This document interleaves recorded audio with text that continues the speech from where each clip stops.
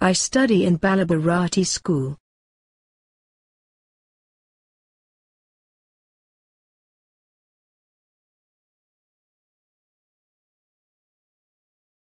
Hey, what's your name? My name is Raghavendra P.